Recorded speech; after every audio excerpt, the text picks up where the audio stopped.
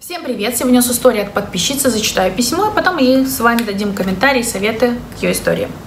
История моя началась осенью 2018 года. Мы познакомились на сайте знакомств, и у меня остался аккаунт после поездки в Европу. Я живу в Алматы, он в Стамбуле. Он работает кабин крю в э, Turkish Airlines. Сегодня началась, э, история началась с обмана. Представительница, представился он мне слова, словаком. На фотографиях светлый парень с голубыми глазами. Вместо имени никнейме не было подозрений, что это не так. Который работает в Turkish Airlines. Писал, попросил сразу мне номер WhatsApp. Он был инициатором переписки, встреч. Озвучил свою командировку в а, озвучил, что у него командировка в мой город, хотел бы встретиться, пообщаться, но и я попросила привезти мне таблерон из Duty Free.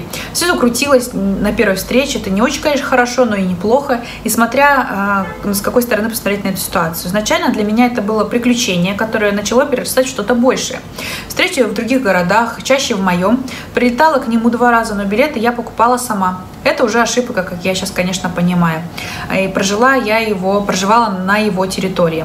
Часто бывали ссоры. Я была в инци... э, инициатором и не понимала, что со мной происходит. Я эмоциональный человек, но умею контролировать эмоции, вспышки, особенности. Э, мои... Я работаю врачом, поэтому мне требуется холодный ум и отсутствие эмоций. А сейчас я осознаю, что это были за вспышки. Это была моя ин... и... интуиция я впала в какой-то в невроз и в зависимость от него. Во время моей поездки в Стамбул у меня возникло чувство, что он собирается жениться. Он задал вопрос, а, когда он а, такой вопрос, и когда он срочно уехал к родителям, вместо дней, которые мы планировали бы вместе провести в Стамбуле, а, он в ответ молчал, не отвечал мне. Это случилось перед карантином. Написал он мне позже, не затрагивая эту тему. Последние недели он затих, и на днях обнаружилось, а я на, обнаружила на его странице в Фейсбуке, что он женился на турчанке. А, можно найти массу предположений, почему он женился. Это была история до меня, возможно, или появилась она во время нашего уже с ним общения, или отношения были не э, лишь иллюзий, я это все там представляла, да. Может быть, настояли родители. Это единственный сын, религиозная семья, и живут они в турецкой глубинке.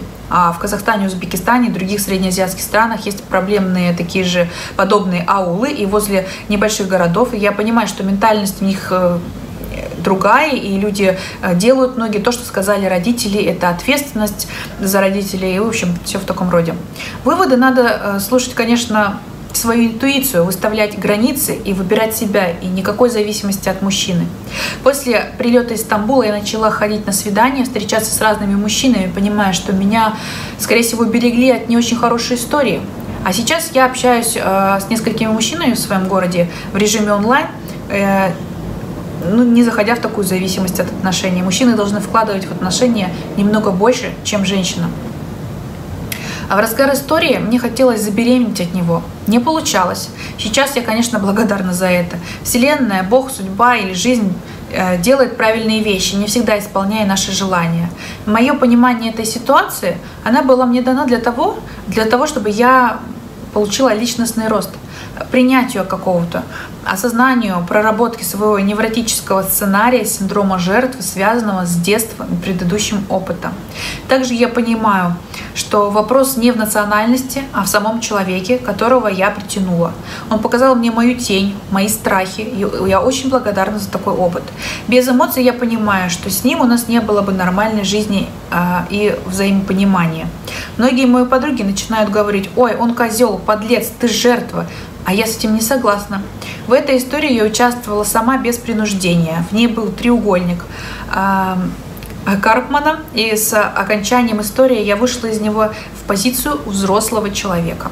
Надеюсь, моя история может быть полезна вашим зрителям, извлечь для себя опыт, изменить свой какой-то жизненный сценарий, взгляды на поведение мужчин. И в нашей жизни есть и будут другие мужчины, достойные внимания, отношений и любви. Спасибо за ваш блог.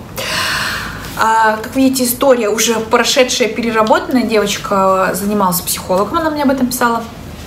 А, и очень правильные выводы, почему я улыбалась в конце, когда зачитывала, потому что эти термины, тезисы, естественно, ей в голову она это проработала, поняла, ей на эти мысли все натолкнул хороший психолог, который ей помог в этом, да, разобраться. Вот почему важна психологическая помощь, потому что посмотреть на себя, вообще на ситуацию со стороны. А, что я могу сказать по этому поводу, девочки? Никогда не бойтесь менять свою жизнь, и, например, обратиться к психологу, либо к какому-то знакомому подружке, который может вам какие-то отдельные советы, такая, знаете, по жизни, и бывают девчонки опытные очень, да, у них какая-то мудрость, короче говоря, есть, да, не факт, что они там опытные в плане там опыта, очень много что, чего посмотрели в жизни, я имею в виду просто по-человечески они очень опытные, мудрые девушки, даже в силу там молодого какого-то возраста. Если у вас есть такое, обращайтесь к таким девчонкам, подружкам своим, они вам помогут. Очень правильные выводы, да? Жизненный сценарий, треугольник, я была в позиции ребенка, скорее всего, вышла в позицию взрослого. Это правильное, достойное развитие а для чего мне, вот как еда мысли, для чего мне даны были, когда вы вот Подведем итог по этой истории. Когда вы заканчиваете какие-то неприятные отношения, больные отношения, ну вы их, слава богу, заканчиваете, я вам о чем всегда в каждое видео толдычу. Это рост для вас. Вам этот опыт был дан для чего-то. Вы в первую очередь после плохого опыта должны сделать выводы, чтобы не наступать на те же грабли снова.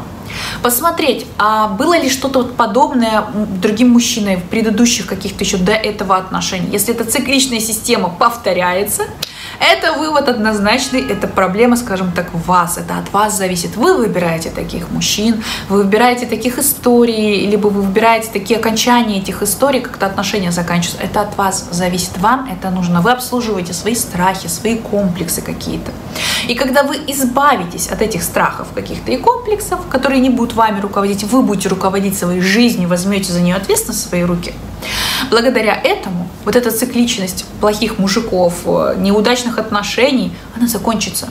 Потому что вы будете трезво смотреть на других мужчин, на здоровых мужчин. Не, не, вы не будете себя как невротик вести, например, в зависимости в отношениях, да, и вы не будете притягивать к себе таких невротических и нормальных мужчин. Как девушка правильно анализировала, я невротик, там в начале письма было, это не стала зачитывать, да, и у нее был определенный жизненный сценарий, она так себя вела, и она выбрала такого мужика. И она не видела в упор, э, что с ним происходит. Она не видела, что у него там есть какие-то отношения. Хотя он, смотрите, да, изначально он фривольно к ней относился, наврал о том, кто он там, не говорил, что он турок, э, активно себя проявлял в WhatsApp, вот эти встречи. Я, честно говоря, думаю, что, возможно, у него эти отношения просто были давно уже, и женился он так, как задумано было все. Просто она появилась в тот момент, когда у него уже эти были отношения. Потому что там отношениям два года, у них общение, вот эти налеты. Ему было удобно, комфортно, и не факт, что и других каких-то девочек у него не было.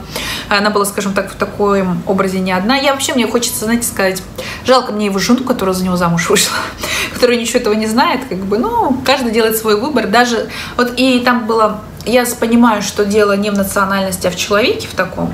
Но вот эти традиции, да, когда младший сын, вот в Казахстане такое у нас тоже есть, что ответственность за родителей, они женятся на тех, кого родители советуют, за кого надо э, выйти там замуж, жениться. Я все равно знаю истории здесь, в Турции, когда идут против воли родителей и выходят замуж, женятся за тех, кого любят, за тех, кого хотят. И даже если семья религиозная и очень э, так скованно, зажаты, слушаться родителей заставляли с детства уважать их. На самом деле уважение вот это родителей, уважая родителей, это манипуляция.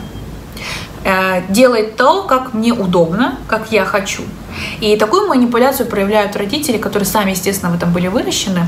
А родители, которые шантажируют с какой-то точки зрения, это все с детства, конечно, идет, а, детей, да, там, или смотри, ты себя плохо видишь, мама там болеть будет, вот эти все истории, это все тоже неправильно, это шантаж, это манипуляция, это нездоровая ситуация.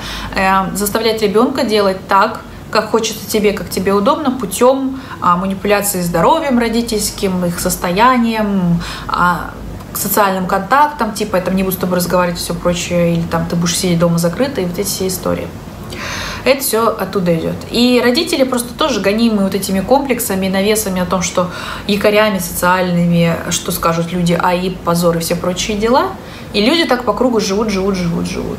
И у меня есть на консультациях такие клиенты, не одни, из вот таких э, стран наших СНГ, которые э, взрощены с молоком матери, вот этой культурой в семье, воспитанием, что против родителей нельзя сказать, смотреть надо, оглядываться на окружающих, что они скажут и все прочее. Это наши русскоговорящие страны СНГ, я имею в виду не турки. И людей сильных, эмоциональных, личностей сильных возникает когнитивный диссонанс, и когда-то наступает момент бунта внутреннего – когда они не согласны с этой системой, они понимают, что они так жить, как родители, слушаться и делать, как они сказали, они не хотят. И в это чувство вины а, который из-под контроля уходит ребенок, и само чувство вины у себя возрождается, да, что я делаю не так, как я огорчаю родителей, да, я не делаю так, как они этого хотят, я плохой. Это очень-очень скажем так, тяжелый такой момент, да, если я буду делать не как родители, они перестанут меня любить, не буду делать, как они сказали мне, да, а я буду им предателем, я буду плохим ребенком, а родители этим пользуются и так и говорят, и манипулируют. Это очень страшно пережить, остаться в отношениях нормальных, хотя бы там контактах каких-то с своими родителями, но остаться при этом с собой и себя не предать. Потому что жить вот в этом диссонансе, делать не то, что ты хочешь, не по твоей, тоже, скажем так, природе, это не жизнь, а существование. Твоя жизнь проходит мимо тебя. Так что всем моим подписчицам, девчонкам, кто из стран СНГ, из Казахстана, из Азербайджана, из Узбекистана, эм, вы вправе проживать свою жизнь для себя. Это ваша жизнь, жизнь ваших родителей. Родители для себя свою жизнь выжили, выбрали и проживают ее для себя. Поэтому, девочки, не бойтесь э, жить в своих интересах. Любить тех, кого вы хотите любить, выходить замуж за тех, кого вы любите. Да, какое-то время первое а, вы можете пойти в неугоду своим родителям, они могут вас бойкотировать какое-то количество времени, даже там пару-тройку лет, но меньше от этого любить они вас не станут. Вы все равно родители не выбирают, а детей своих воспитывают. И вы такой человек, кем создали вас ваши, скажем так, родители, нас родили на свет. Своим за это спасибо. Но не бойтесь брать ответственность за свою жизнь, просто идя против системы воспитания ценностей и культуры вашей, но так, как хочется вам, как вы чувствуете, а, потеряв что-то даже на пути, вы обретете самое главное – баланс внутри себя, и вы будете счастливым человеком, который будет любить себя – а пока вы не живете с собой в балансе, несчастны, делаете так, как другие говорят, против своей воли, то есть вам этого не хочется, я прислушиваюсь, я себя ломаю, вы несчастливый человек, вы несчастливы. Вы проживаете, тратите свою жизнь, но живете ее для родителей, для общественного одобрения, но не для себя. А, жду ваших писем, истории а, мне на почту. Почту я всегда оставляю под видео в инфобоксе. Она также есть у меня на канале в информации о канале. Спасибо за ваши комментарии. Пишите, девочки, поддержите, что вы думаете по поводу истории и вообще по поводу вот этих психологических всех штук ментальных, наших менталитетов, наших и культуры воспитания мусульманских семей. Жду ваших комментариев. Спасибо за внимание. Всем пока.